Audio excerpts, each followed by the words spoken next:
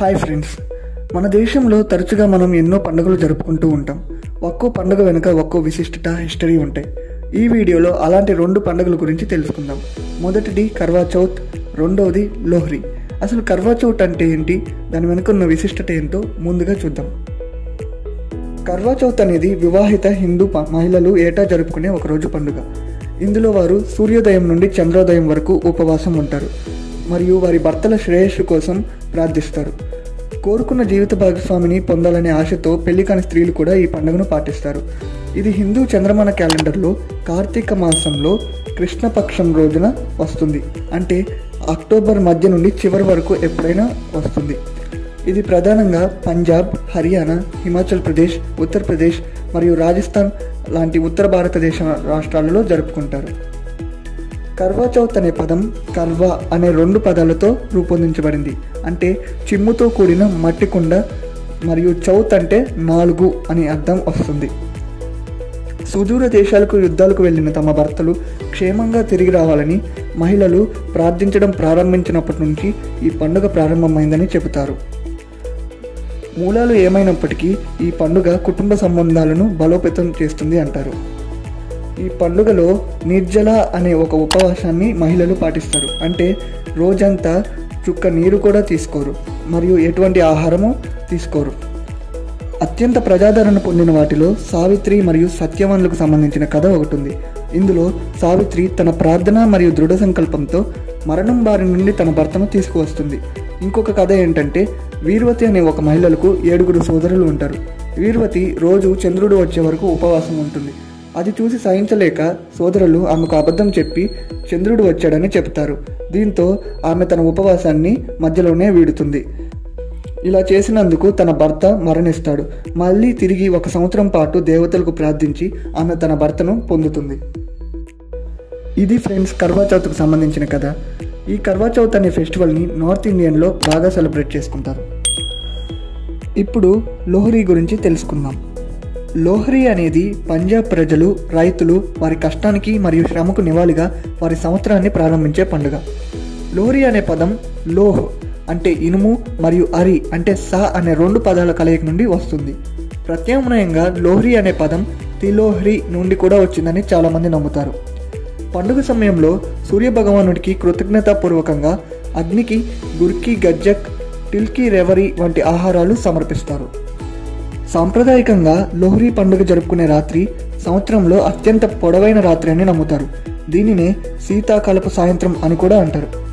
సూర్యాస్త సమయం తర్వాత భోగి మంటలను వెలిగించడం ఈ పండుగలో మరొక విశేషం. ఈ అగ్ని ముఖ్యంగా కొత్తగా పెళ్ళైన జంటలకు మరియు అప్పుడే పుట్టిన శిశువులు ఉన్న తల్లిదండ్రులకు శుభప్రదంగా పరిగణించబడుతుంది. పంజాబ్ జానపదాల ప్రకారం లోహ్రీ రోజున ఈ భోగి మంటలు ప్రజల ప్రార్థనలను సూర్యభగవానుడికి తీసుకువెళ్తాయని అతను భూమిని విజయవంతమైన పంటతో ఆశీర్వదిస్తాడని నమ్ముతారు.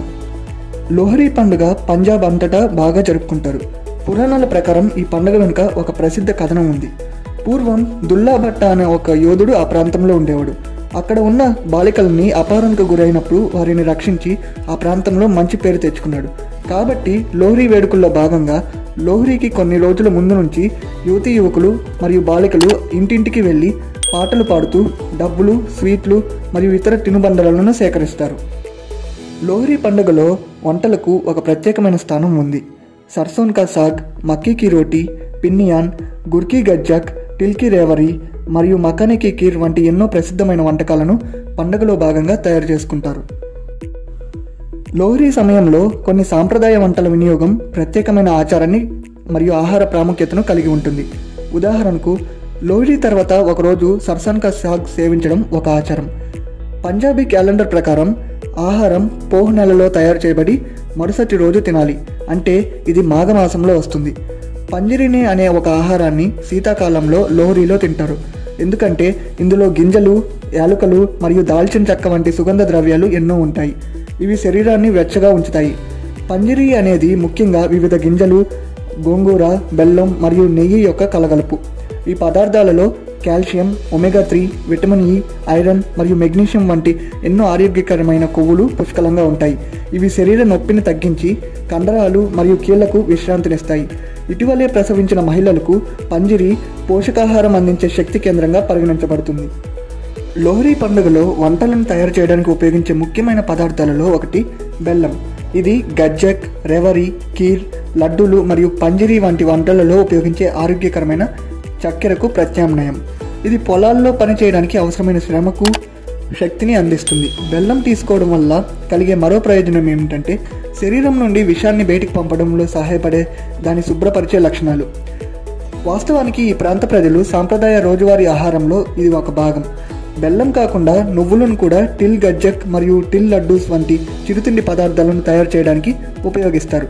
నువ్వులను బెల్లం సిరప్లో ఉడికించి ఆపై సన్నని పొరలలో అమర్చాలి. అవి చల్లారిన తర్వాత వాటిని స్నాక్స్గా తింటారు. నువ్వులు మితంగా తీసుకుంటే చాలా ఆరోగ్యకరమైనవి. ఎందుకంటే అవి ప్రోటీన్ యొక్క గొప్ప మూలం.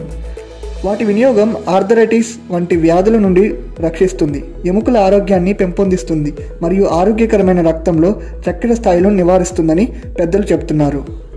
ఇది ఫ్రెండ్స్ లోహరీ గురించి. ఈ వీడియోలో మనం లోహ్రీ మరియు కర్వా చౌత్ అనే రెండు పండుగల గురించి తెలుసుకున్నాం. ఈ వీడియో కనుక మీకు నచ్చినట్లయితే ఛానల్ని సబ్స్క్రైబ్ చేసుకోండి. మరొక మంచి వీడియోతో మళ్ళీ కలుద్దాం.